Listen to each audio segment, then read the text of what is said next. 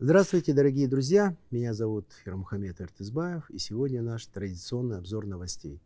С официальным визитом в России на этой неделе побывал председатель Китайской Народной Республики Си Цзиньпин. Путин поддержал предложенный Китаем мирный план по урегулированию украинского конфликта, отметив, что его осуществление во многом зависит от готовности Запада следовать ему. Также Президент России прокомментировал и заявление замминистра обороны Великобритании о передаче Украине боеприпасов, в том числе бронебойных снарядов, содержащих объединенный уран. По словам Путина, Россия будет вынуждена реагировать, если коллективный Запад начнет применять оружие с ядерным компонентом.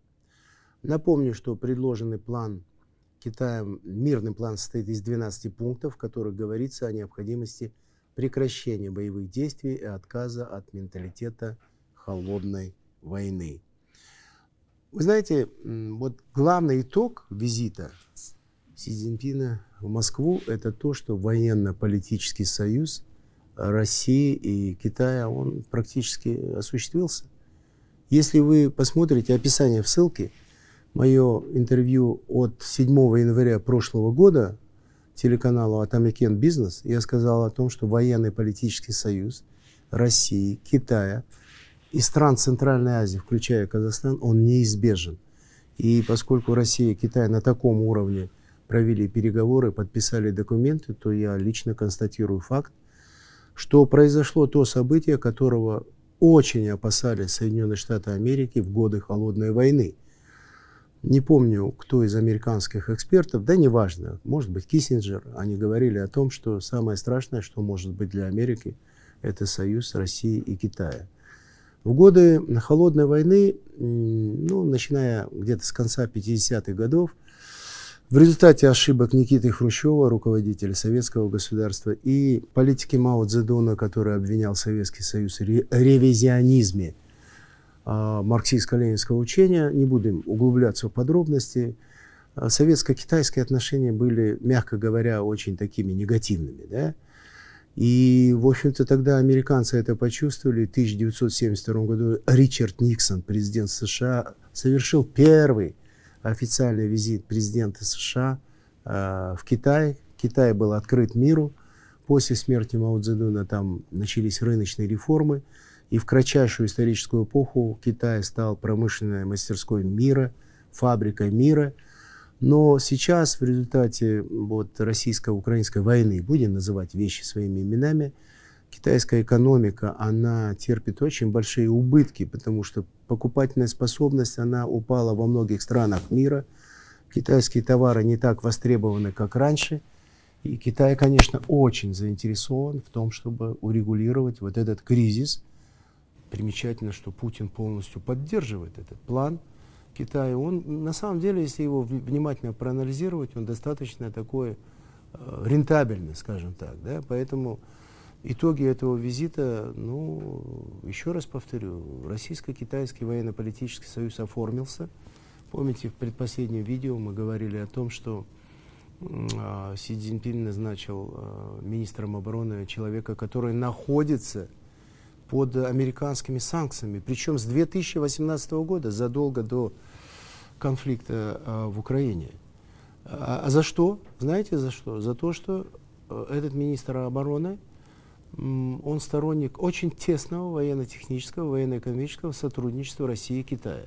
То есть здесь налицо такое явно предвзятое отношение, то есть Америка никак не может выйти из этого Э, из этой роли однополярного мира, в котором она и только она должна диктовать условия, в том числе таким странам, как Россия и Китай. Россия имеет непрерывную тысячелетнюю государственность, а Китай непрерывную пятитысячелетнюю государственность. Да?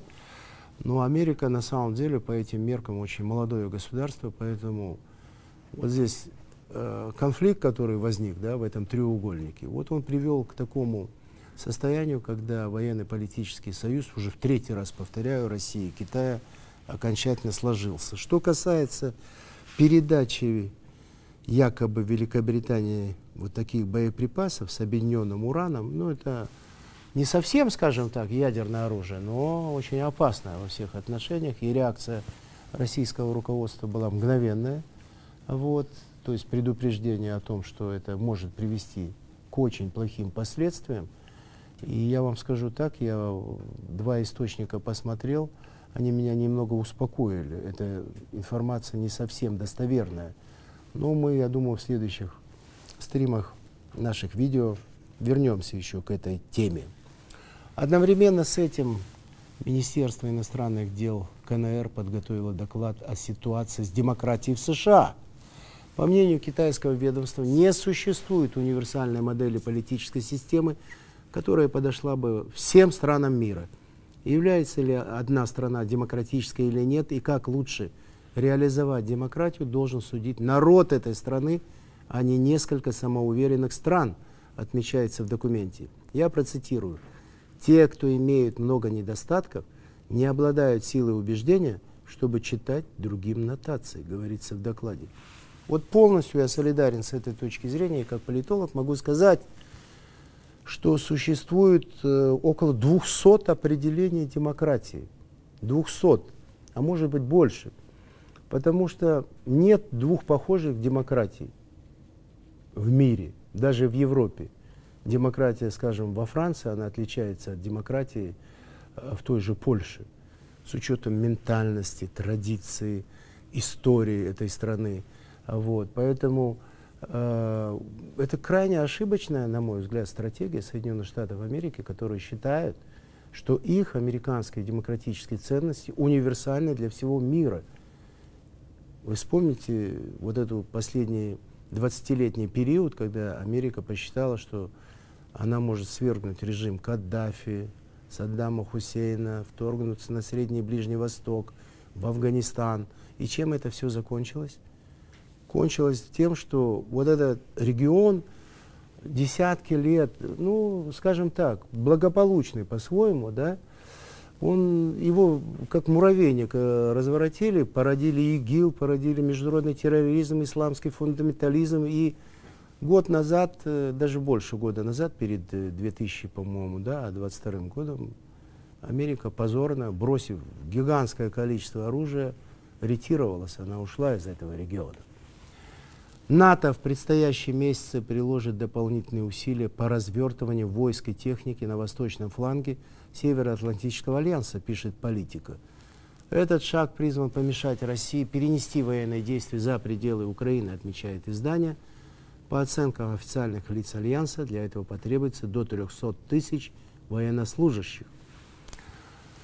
Я вам совершенно определенно точно могу сказать, что абсолютно никаких планов у Российской Федерации по переносу военных действий за пределы Украины нет и существовать просто по определению не могут. Мы неоднократно говорили, что главная причина вот той войны, которая происходит, да, это нарушение того баланса, который десятилетиями существовал между Советским Союзом и США, скажем так, ельцинско-путинской России до 2007 года и Соединенными Штатами Америки. И когда в одностороннем порядке были ракеты расположены на территории Румынии и Польши, и плюс потенциальное вхождение Украины в НАТО – то вот, собственно говоря, это и есть главная причина той войны, которая происходит. Вот. Россия руководствуется исключительно вопросами своей национальной безопасности. Абсолютно нет никаких оснований говорить о том, что Российская Федерация собирается вторгаться в Европу. Мне кажется, это бред. Не кажется, я совершенно точно уверен. Вы обратите внимание, в 2003-2004 году три прибалтийских государства, я имею в виду Латвию, Литву Эстонию, вошли в НАТО. Конечно, Москве это было неприятно, но, скажем так, Москва махнула рукой. Почему? Потому что там нет, там нет ракет среднего радиуса действия. И быть по определению не может. Почему? Потому что если ракета будет расположена, допустим, в Литве, то она будет полминуты лететь до Санкт-Петербурга. Это же дураку ясно, извините. Вот, поэтому э, все, все вот эти разговоры о том, что 300-тысячную армию НАТО надо готовить, Россия там вторгнется в Европу, давайте мы лучше даже комментировать не будем. Россия не могла допустить того, чтобы Украина вступила в НАТО и поэтому начала против нее широкомасштабную операцию.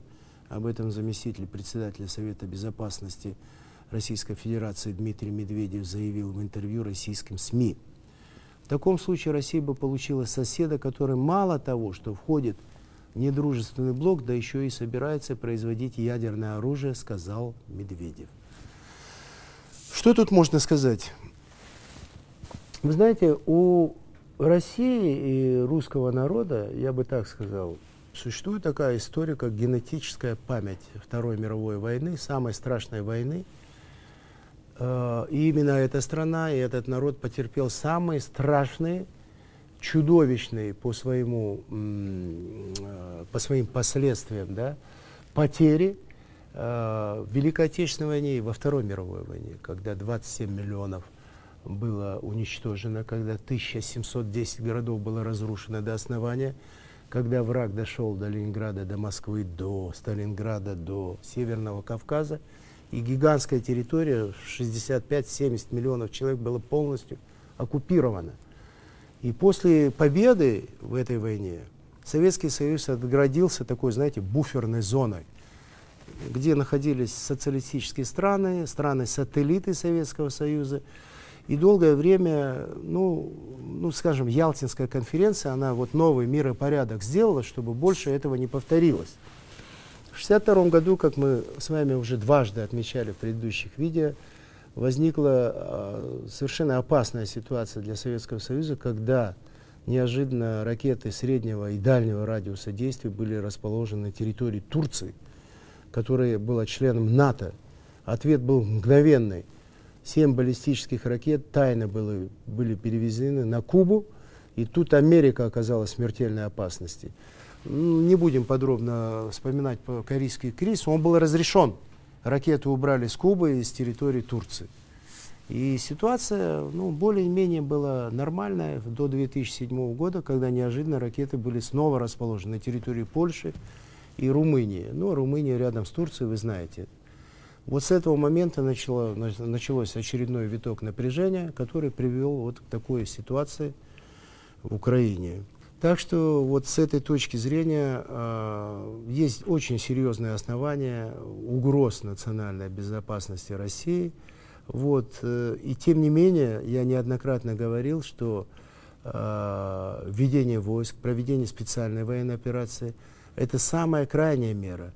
Я глубоко убежден, что весь арсенал дипломатических мер, он не был исчерпан до конца, и можно было найти какой-то, скажем так, мирный переговорный процесс, прежде всего США и коллективным Западом, которые должны были понимать, что, ну, если Финляндия, допустим, да, долгое время является нейтральным государством, являлась во всяком случае, и с Советским Союзом у Финляндии были прекрасные и замечательные отношения, вот, то Украина, на мой взгляд, тем более, о каком НАТО можно было говорить, если российская государственная политическая элита и украинская государственная политическая элита вошли в очень резкое такое э, противоречие, противодействие, если хотите, именно по этой проблеме.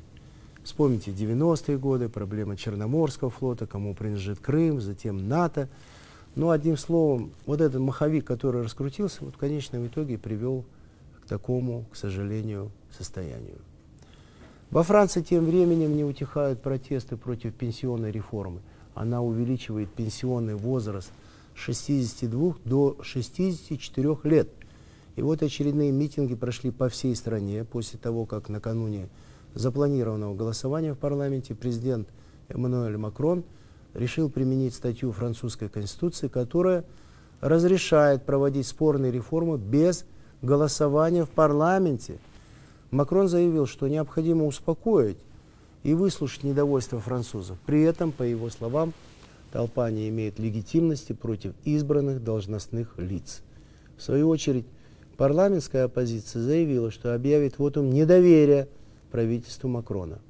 Лидер оппозиционной партии «Национальное объединение» Марин Ле Пен предупредила, что своей пенсионной реформой президент Франции ставит страну на грань социального взрыва. Я хочу напомнить, что Марин Ле Пен, она дочь э, известного политического деятеля, который, знаете, ультрарадикальный такой политический деятель, такого крайне националистического толка, которого, собственно говоря, во Франции называли, знаете как, фашист.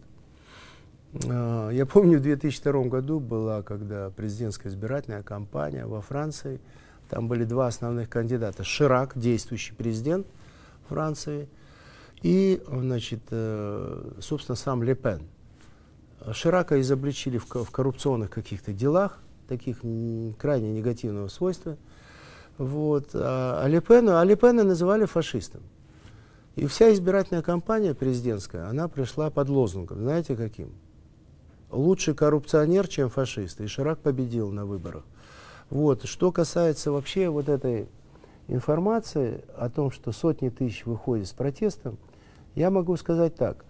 Франция и французы это, это политическая нация. Это неоднократно у них происходит. Любое повышение цен, продуктовая инфляция, какие-то непопулярные решения, или вот это вот решение повысить пенсионный возраст да, на два года.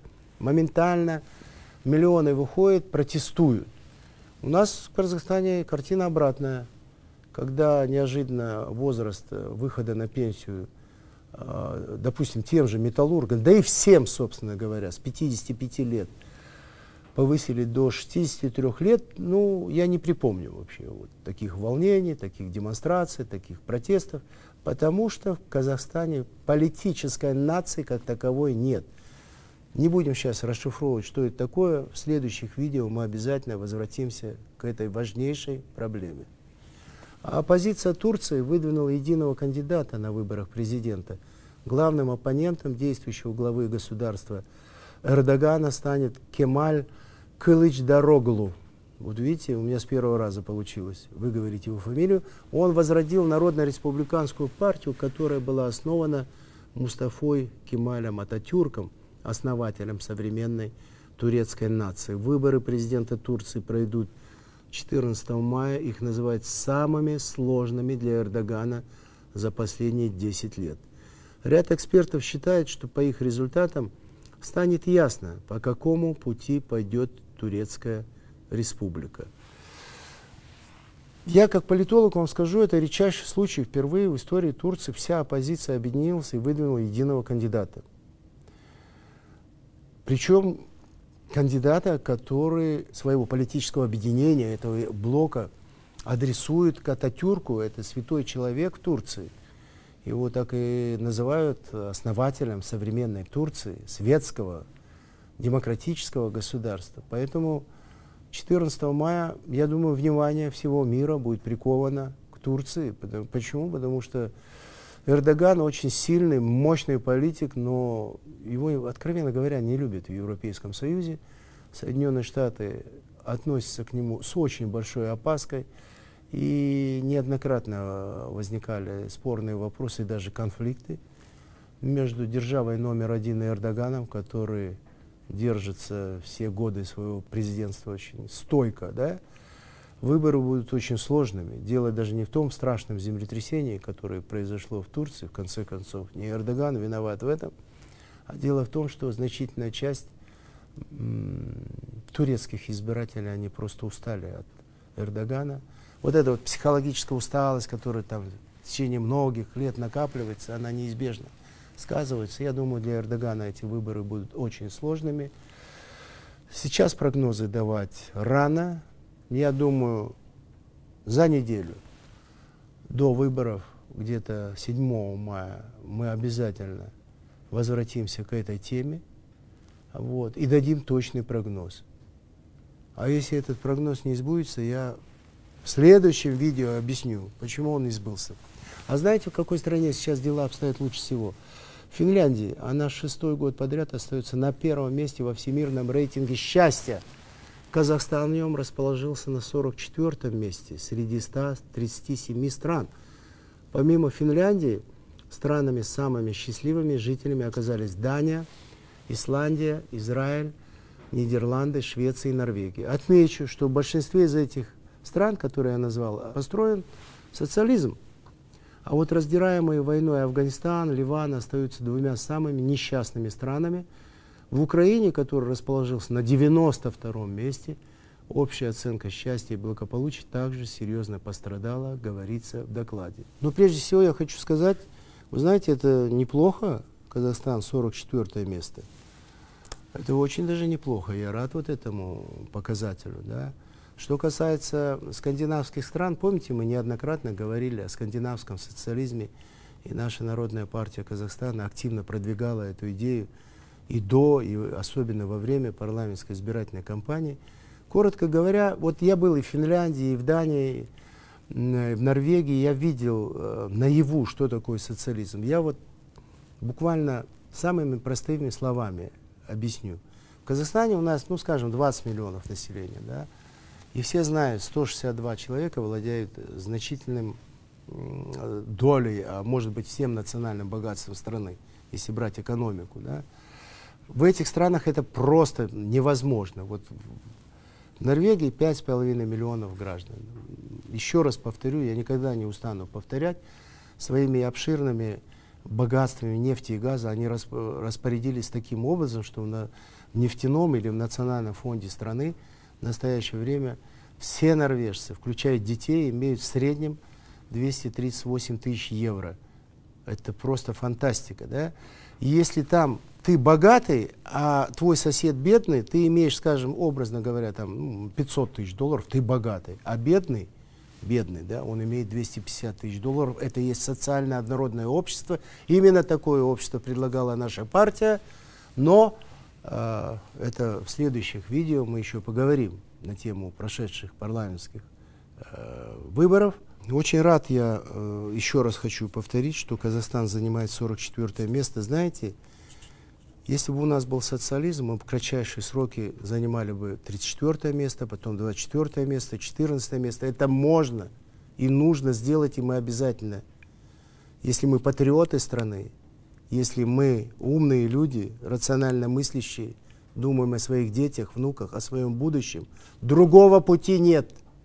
И в завершение новость, которая вызывает гордость. Елена Рыбакина поднялась на седьмое место в рейтинге лучших теннисисток мира – это случилось после триумфа нашей спортсменки на международном турнире. Отмечу, что первая ракетка Казахстана активно занимается благотворительностью и недавно перечислила деньги, на минуточку, волонтерскому движению «100 потлов» в Астане. Эта организация спасает бездомных животных. Сегодня «100 потлов» оказался в тяжелейшей ситуации. О трудностях, с которыми сталкиваются волонтеры и зоозащитники, вы можете подробно узнать недавних выпусках Иртызбаев Лайв. Наша команда подробно об этом рассказывала. Дорогие друзья, с вами был Ирмухамед Иртызбаев. До следующих встреч.